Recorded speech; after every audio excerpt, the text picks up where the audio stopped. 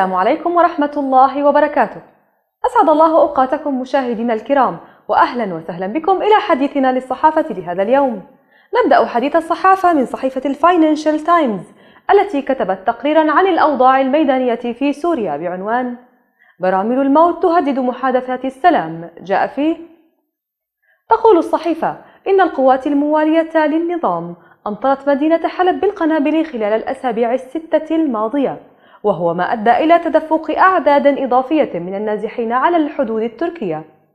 وترى الصحيفة أن الحملة التي تشنها القوات الموالية للحكومة على مدينة حلب التي يسيطر عليها المعارضون إنما تهدف إلى التأثير على وفد المعارضة المشارك في محادثات جنيف.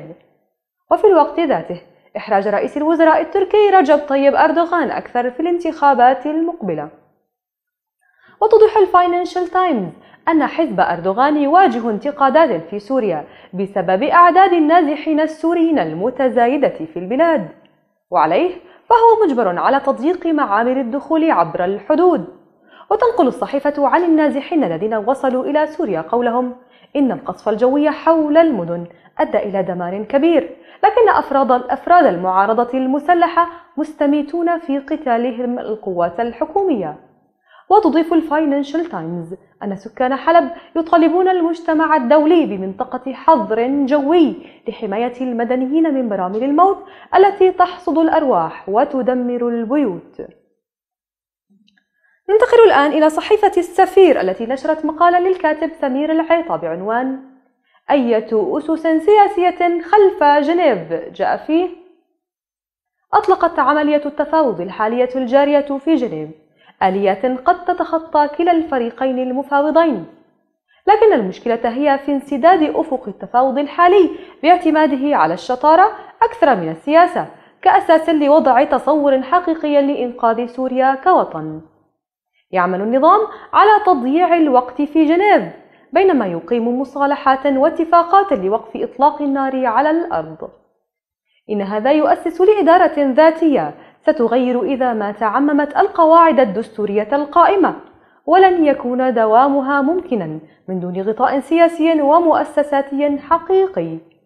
وفد الائتلاف يضيع أيضا الوقت عبر طرح ورقة رؤية للحكومة الانتقالية أقل ما يمكن أن يقال عنها أنها تشكل تراجعا عن أسس التوافقات الوطنية التي تمت صياغتها في القاهرة في تموز 2012 ذلك أن مرجعية هذه الرؤية هي لقرارات مجلس الأمن الدولي وليست لعهد وطني تتوافق عليه الأطراف.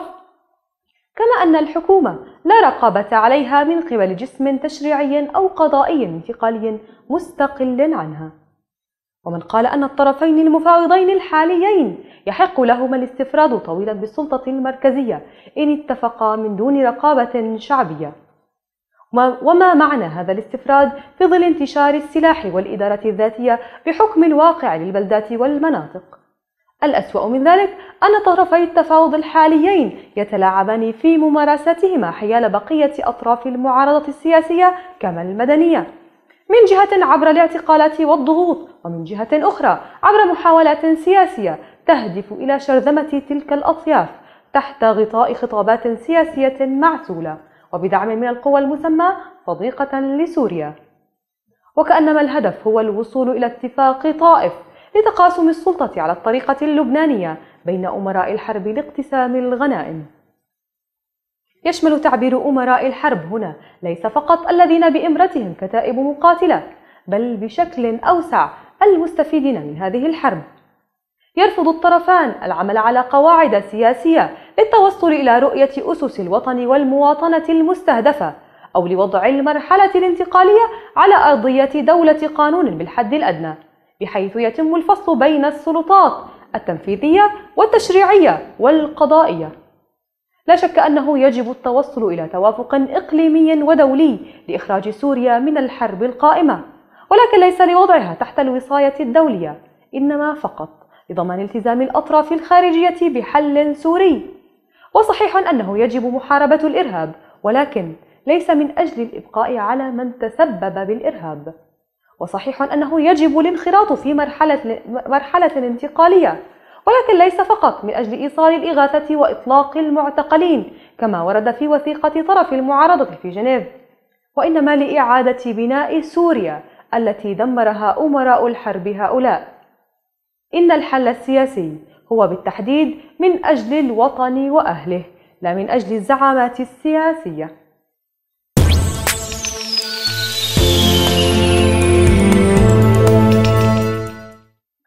نتابع معكم مشاهدينا الكرام وننتقل الآن إلى موقع حبرلار الإلكتروني الذي نشر مقالا للكاتب سفيان أبو أمير بعنوان الصفوية الجديدة تهدد أمن تركيا جاء فيه.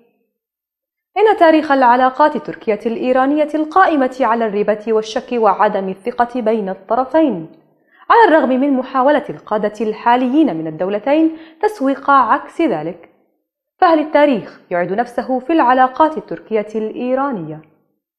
كانت الدولة العثمانية السنية في أوج قوتها تقاتل أعداءها من الصليبيين على عدة محاور الروس وإيطاليا وفرنسا وإنجلترا والبرتغال وبين ذلك وبينما كانت تفعل ذلك كانت سهام الصفويين تنطلق باتجاه الدولة العثمانية وتشغلها عن متابعة فتوحاتها وتعقد التحالفات مع الدول الأوروبية ضدها. الأمر الذي جعل الصدام بين العثمانيين والصفويين أمرا لا مفر منه. وتعتبر معركة جالديران سنة 920 هجرية 1514 ميلادية والتي انتصر فيها العثمانيون انتصارا كبيرا غير أنهم لم يقضوا على الصفويين قضاء نهائيا فأعادوا تنظيم صفوفهم ووصلوا حبك المؤامرات وذلك لأمرين خطيرين. الأول إعاقة الفتوحات الإسلامية لأوروبا لأن العثمانيين يضطرون إلى وقف حصارهم للمدن الأوروبية والعودة لتأمين حدودهم مع الصفويين واسترجاع ما كان يستولي عليه الصفويون من البلاد. والثاني أن التحالفات التي عقدها الصفويون مع الدول الأوروبية والتسهيلات التي منحوهم إياها شكلت بداية عهد الاستعمار والوجود الأوروبي في بلاد المسلمين. نعم أوافق الحكومة التركية في وجود مؤامرة ضدها لكن من وجهة نظري هي عودة المؤامرة الصفوية ضد الدولة العثمانية بثوب جديد. هو ثوب الجمهورية الإسلامية الإيرانية. شهدت تركيا منذ وصول حزب العدالة والتنمية إلى الحكم عام 2002 صعودا مضطردا على الأصعدة كافة فأصبحت بذلك أكبر قوة إقليمية منافسة لإيران في المنطقة. فأعدوا مؤامرة ترمي إلى زعزعة ثقة المجتمع الدولي بحكومة أردوغان. في هذا الشأن كشفت, كشفت مصادر صحفية تركية نقل إيران عناصر من تنظيم القاعدة من دولة باكستان إلى سوريا عبر تركيا سعيا لتلويث سمعة تركيا في المنطقة والعالم وإظهارها على أنها دولة داعمة للإرهاب. هذا طبعا الهدف الظاهر لكن المبطن منه هو تحطيم دولة سنية لها تاريخ وحاضر ومستقبل. وكشف تقرير بأن الإدارة الأمريكية وصلت إليها معلومات تفيد بأن القيادي بتنظيم القاعدة ياسين السوري الذي يتولى عمليات نقل عناصر التنظيم إلى سوريا على ارتباط مباشر بطهران. وتم كشف تفاصيل ذلك عندما قبض على الرجل الثاني في تنظيم القاعدة سليمان بوغيث في أنقرة في كانون الثاني 2013 بعدما حاولت المخابرات الإيرانية تهريبه إلى سوريا عبر الأراضي التركية. وكانت الحكومة التركية وجهت حينها تحذيرات شديدة اللهجة إلى إيران عبر القنوات الدبلوماسية. وأضافت نعلم جيدا ما الذي تحاولون فعله فأعرضوا عن ذلك. عليه يمكن القول أن أساس الصراع في تركيا هو صراع أيديولوجي بحت. بين قوتين إقليميتين لاعتبارات عقدية وتاريخية.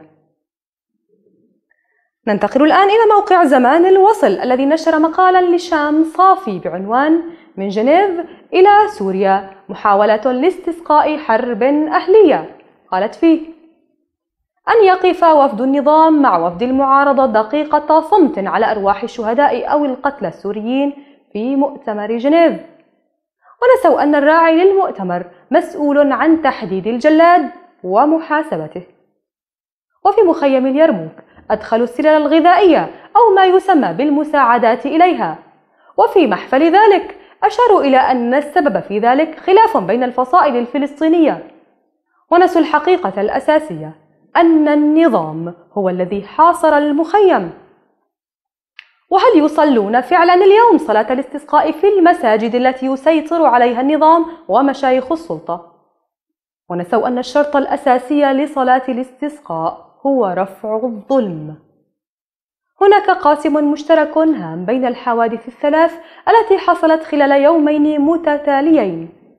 ترى هل الدول العظمى تعلمت من النظام كيف يضيعون الحقوق؟ أم أن سير النظام العالمي المدقع في الظلم والمصالح اللا أخلاقية هو الملهم للنظام والمحرك له والدافع وهو إشارة المرور الفورية الآمنة. ترى هل مشايخ السلطة هم من مدوا للنظام يد الطاعة؟ أم أن النظام هو من شكل هؤلاء وتعلم منهم كيف يكون سوق الناس؟ ولو كان ذلك بعيدا عن فحوى الشريعة الإسلامية المنيرة للظلام الذي بتنا فيه. هل هؤلاء جميعا يلبسون الحق بالباطل ليحاولوا إضاعة الحقوق؟ هل هي مجرد صدفة حدوث هذه الأحداث معا؟ لم تكن الإشارة تلك بأن الفصائل الفلسطينية تتقاتل في اليرموك كلاما بريئا لأنه أشبه بالقائل إن الأمر كله حرب أهلية حينما حاولوا قلب حقيقة أن الأحداث في سوريا ثورة شعب ضد نظام ظالم مجرم مستبد وبذلك ففي اليرموك أيضا الأمر مجرد خلافات بين الفصائل التي تقاتل بعضها. وطبعا النظام متملص من مسؤوليته حينما يتم إخفاء حقيقة واضحة كالنهار بأنه هو الذي يحاصر اليرموك وهو المتسبب بموت أهله جوعا. لم تكن صلاة الاستسقاء صلة حقيقية بين العباد وربهم لأن أصلها وشرطها أن يرفع الظلم بين الناس. وإذ بالمجرمين الظلمة يعلنون أنها صلاة استسقاء. أي غياب عن الحقيقة؟ وأي تغييب هذا؟ وهل من يصلي ويؤم الناس مقتنع بأن الشروط محققة؟ أم أنهم مجرد منفذين للأوامر طالما أن صورة عملهم هي الصلاة وحقيقتها تأدية الأوامر؟ عجبا لمن يسيء للدين. ويسيء للحق والأخلاق. والعجب الأكبر لمن لم يستفق بعد لهذه الحقائق.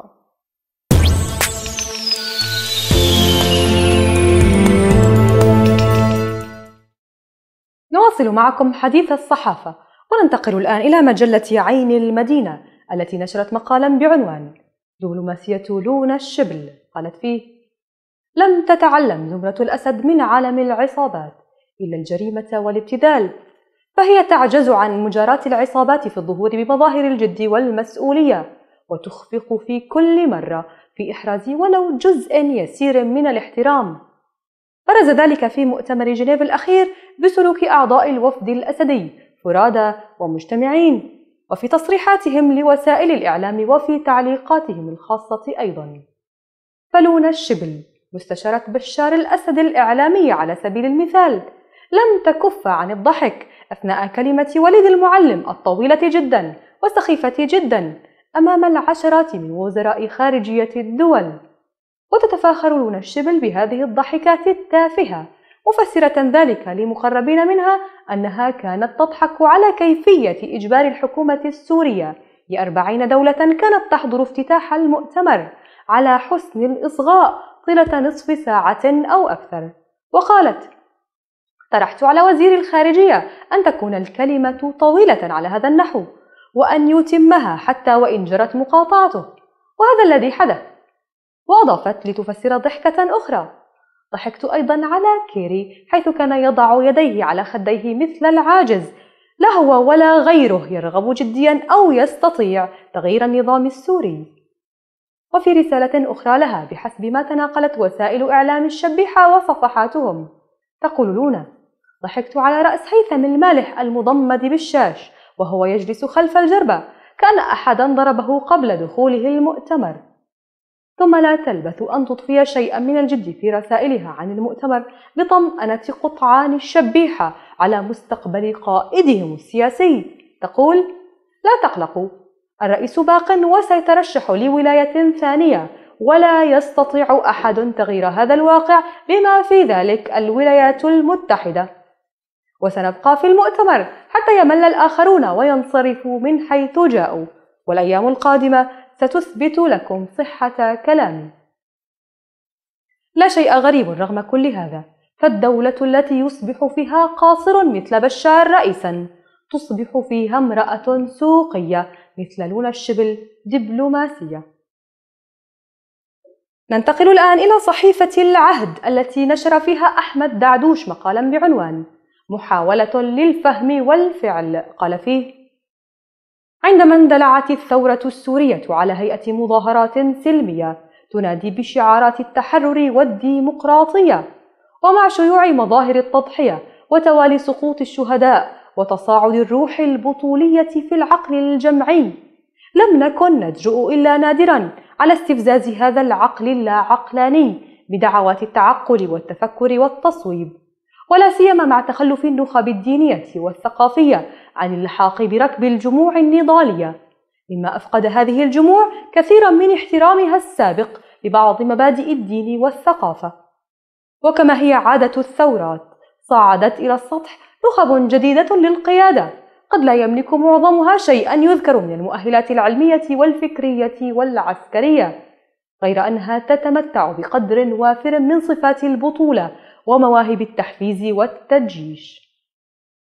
آمنا آنذاك بأن المظاهرات الغنائية والعصيان المدني والضغط الخارجي من الغرب الديمقراطي المتحضر هي عوامل كافية لدفع الأسد إلى التنحي كما فعل صاحبه في تونس ومصر خلال بضعة أسابيع. بل اعتقد بعضهم أن تطبيق شريعة غاندي والخروج إلى الشبيحة المنتمين إلى الشعب العظيم بلافتات الحب ثم وضع الزهور في بنادقهم سيدفعهم إلى الانشقاق عن الطاغية بمشاهد رومانسية. وعندما اضطر الثوار أخيرا إلى الدفاع عن أنفسهم بالسلاح اعتقدنا أن الغرب الذي فاجأنا بعدم تحضره سيسارع إلى خلع الطاغية واسترضائنا خشية نهوض قوتنا على تخوم إسرائيل. لم يتحقق شيء من تلك الوعود والأحلام. وسادت شريعة الغاب في مناطق كثيرة. كما بذل المخلصون جهودا مضنية لتصحيح المسار وقطع يد المتسلقين والعابثين. لكن المشهد اليوم يؤكد أن النظام تمكن من رسم حدود دولته من لواء إسكندرون إلى السويداء وأن معامل الدفاع ومخازن السلاح الكبرى والمواقع الاستراتيجية ما زالت بعيدة عن يد الثوار. وقد تعلم حزب العدالة والتنمية التركي أن حرق المراحل يعني حرق المشروع كله.